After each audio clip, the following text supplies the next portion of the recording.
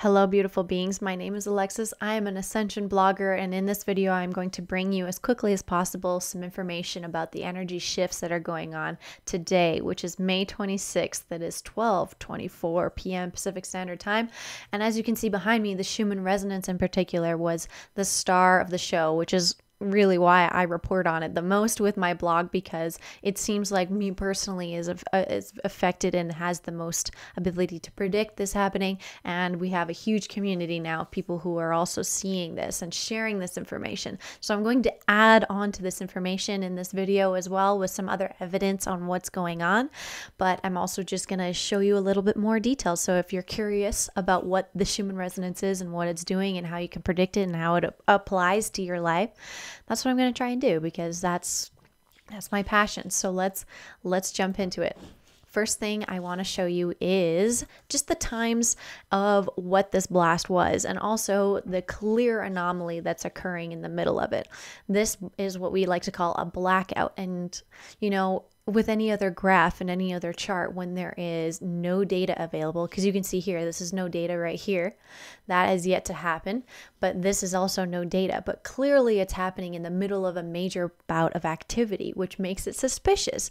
And another thing that you may enjoy is that this blackout occurred over hour 17 which is commonly the most active hour of the Schumann resonance at least for the years that I've been watching it it's from hour 16 to 18 this huge just those hours they're like mm, maybe they're turning off the machines. Really that's that's kind of how i feel. It's come to this point where i'm like more suspicious about this publicly available data about the schumann resonance about the solar uh, stuff and so on but i digress. I'm going to tell you what times that these occurred so you can compare your own life.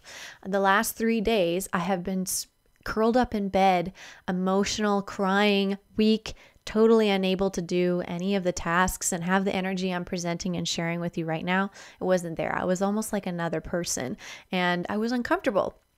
And like any other type of trip, uh, it doesn't last forever. And you, I knew this morning the energy had shifted, and I thought it was because of my own doing. But again, you know, so within, so without. There was definitely a back and forth thing going on, and this is the clear evidence. So last night, the 20 5th around 8 p.m.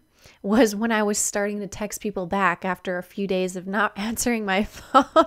and I was like, wow, I'm starting to feel better. Well, that's when this uh, this blast started coming in. And what does this mean? It means that the Schumann resonance or the the the music of our ionosphere of our planet I think of them as brainwaves. Some people call of it call it the heartbeat. And this got louder. This energy and these frequencies got louder at that time which means in a way it could have almost out sang and out um, vibrated and overtook the artificial frequencies that are going on, like cell towers and so on. We're all very concerned and aware now more than ever of these cell towers and what they're doing and the satellites and so on. This is Earth potentially drowning it all out, and that is maybe why I was feeling better. That's just a theory. That's what I've been going off of for literally years of this research. So, this first blast comes in, and then we're going to bed around this time when it cools off a little bit, and then we go to sleep, and then boom, we get another one. And I can't even tell you how high or how loud it got during that time, but I can tell you when it sort of petered off again, which was only around three hours ago. So, around like 10 p.m that's when I kind of chilled and went back into the quiet zone. And honestly, the quiet zone, it's not my favorite time. I don't function as well. I'm clear I clearly function better when we see these whiteouts and not all not all of us are going to function the same during these frequencies. I want to let you know about that, but it's very um, it's a very beautiful thing and it's so fun to watch. So let's look at how how loud it got. So we measure amplitude of these frequencies. These four lines, these are four different frequencies. There's about 6 or 7 that are part of the like song of the ionosphere because of the shape and the way sine waves work and so on. But during, you know, 8 p.m., 8 9 p.m. last night, the amplitude got to around mm, like a high 60, which is pretty good. And then Again, around 2, 1, 2 in the morning, it began to really peak again. And all we can see is that it got to a 72 for the primary frequency, which is this white line. That's the 7.83 hertz average primary frequency of the Earth and then we have 14 and 20 21 24ish and you know it goes from there but those subs those are rarely more powerful than the primary frequency just so you know and then we see the actual frequencies during these these jumps were lower than average. Um, as you can see here, they don't bop too much. This is 7.45, this is 7.94. It's just in between that range. That's why 7.83 is the average. During the first blast, it went down a little bit below average. And then, of course, I can't tell you what happened during the blackout again, but it looks like it didn't spike too much. And then the quality is another one, which is like how, what was the quality of these frequencies? When did they break down? How much energy were they basically able to hold? And you can clearly see that there was some type of spike that occurred in the quality, but it's blacked out again. But let's just see what we can see. It, it spiked to a quality of 10, which is not very high at all. But potentially who knows? Who knows where it went where it actually did? I don't and i can't tell you but these anomalies these blackouts happen a lot and to have it happen in the meat of a really whiteout blast is always very fascinating. The heartmath.org is another place that you can get this information. All these links i leave below my youtube video every time for this data so you can mine it yourself whenever you want. It looks like alberta is actually where i'm from. Alberta canada is having the highest the highest readings according to heartmath.com. They have stations all around the world too. And that's what I'm noticing, which is kind of funny. Other stations aren't even on. So it's not the most reliable site, I'll be honest. So let's look at what's actually happening with the stars and astrology. So we're going to try and find and suss out maybe the source of why this came in and what's going on. And one thing that did happen astrologically was that Juno, the asteroid, went direct, and Venus had just gone retrograde, and Jupiter is, or sorry, Juno is also love related. Both of them are related to love. And with this sort of transition that Juno went back direct from February when it went retrograde, it's asking us to look over our relationships, our romantic and our like intimate relationships with people. So if today you're having a moment of clarity finally with a decision about your own relationship, either it is to move on from that or to, you know, just another layer of intimacy in that relationship. That is what's going on astrologically. There's other things, but this is what I picked up which isn't, you know, it isn't like, oh, that's the reason, but I'm just telling you that there is there's also some clues along with these energies. I also like to do a tarot reading with these energies, and then I'm going to get into what the sun was doing because that's also important. So, the tarot card that I received for today with this blast is the High Priestess, which kind of looks like the blast. Let's be honest, we got a little bit of the same qualities in this picture. But the High Priestess talks about mysteries and secrets and indicate that there's more depth to a matter. So, there's clearly more depth to what this blast actually means for all of us, and that you need to follow your intuition and trust your instincts with what's going on today, as well as um, deepening deepening your connection to your divine feminine and the knowledge and your learning of spiritual things and esoteric matters which is what i love to bring the schumann resonance into because i think it's very esoterically linked.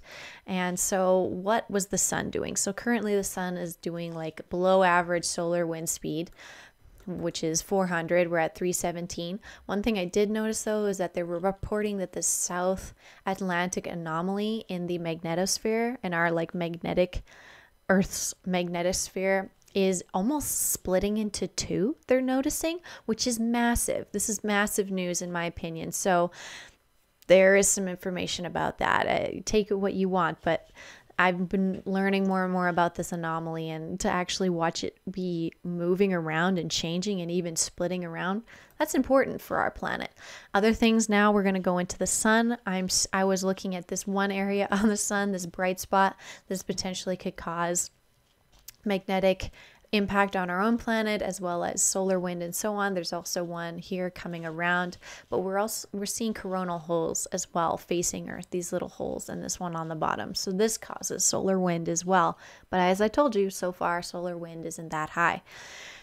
We are also seeing just this is this is what looks this is the graph that like reflects back what the solar wind is doing to our magnetosphere. And right now, it's actually super quiet, which means that we don't have that buzzing protection, that bombardment, which means that actual cosmic radiation can come in more right now, which is interesting here as well, but not as powerfully. Obviously, the little bit more disturbance there is, the greener and the yellower and the redder it gets, the less there is permeated through our atmosphere.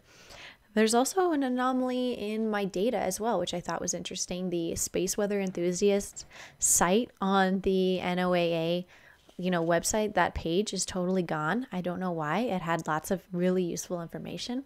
Maybe it's getting a reboot and a revamp. That's the timeline i want to be on. As well as watching the coronagraph where you can see energy leaving the limbs and the edge of the sun I've been watching energy leave all year long. It's just popping off stuff. And honestly looks like that they altered this chart. This is my opinion, but it's not as bright as it usually is, but I don't think that's because of the sun. I think they may have even like dampened what we can see and made it less look less intense to maybe like scare us less. I don't know, but I'm still seeing that there is stuff popping off the edge of the sun. I'm also seeing lightning, which is related to Schumann resonance along the east coast, the east side of the United States, down into over by basically yeah, over here in the ocean below Mexico, and also over in Alberta and Saskatchewan and Manitoba, it looks like. And then we move to the other side of the world. There's actually quite a bit of lightning. This is pretty impressive. We're seeing lightning over here, we're seeing lightning over in the UK, we're seeing lightning it's all over the place. So there is energy, cosmic energy coming in in these areas clearly. So you're probably feeling a little different today. Under like the, if anything what I'm saying, you're probably feeling a little weird and different, which is why I make these videos. Let's talk about earthquakes really fast. So when the energy shifts again, the earth can shake. I've noticed that anomaly. We're seeing some shaking in Panama. We're actually seeing a little bit of earthquake activity almost everywhere. In China again, China, China I'm seeing it. But just so you know, just so we all know, we can watch, like maybe this anomaly, this blackout happened because they didn't want us to know how intense things were about to get. But we would notice on the seismo charts, some of these not, are not available, like here in Germany. That happens all the time. But here is there's some evidence here that there has some shaking going on, but I didn't see anything that was like wild. You know, we've seen some wild stuff on this channel looking at, and it doesn't get reported. You know, this stuff doesn't go on the news. The way that I research doesn't seem to be a common way that other people like gather, gather data on the news, but whatever. This is also a cosmic ray station, and I wanted to show you briefly that the cosmic rays are back at another high. Over the years, we're in a high you know, year of cosmic radiation, which makes sense because I've watched the KP index drop multiple times, wherever it is here, to really low, and I've felt the effects. So, that is today's video about all that. I hope it was nice and concise and quick and fast and easy to digest. Let your friends and family know if they're feeling like, oh, I feel weird today, and you know, they're not as in tune with this research and this this line of work. Just let them know that you know the Schumann resonance blasted today for sure after quite a few days of really quiet activity. So there is going to be a shift in our brain waves and our magnetos magnetic, you know, our whole magnetic field around us and so on. That is my theory based off of years of research and I'm just happy to be able to share that information with all of you. Thank you very much for supporting me through PayPal and through Patreon and from subscribing and following me on social media and getting the word out there, making your own account and sharing about this, sharing about this on Facebook. Just you can find the link, you can find this picture for yourself, post it on Facebook. Just just get it into people's minds. Even if they just see a picture, pretty much everybody who's going to see something like this, they're going to go, "What is that?" And they're going to notice that there's something going on. And that is, that's all I ask. That's all that we need to do. The more people who want to know about this, the less often that these sort of anomalies are going to occur without us knowing what actually is going on. We, as you know, I believe as a planet deserve to know and also monitor our own environment without it going through layers of layers of editing and so on. So I just wanted to talk about that. I wanted to share this energy with you. Thank you all very much for being here and continue to see love in every moment. We are all one and I will see you again soon. Goodbye, everybody.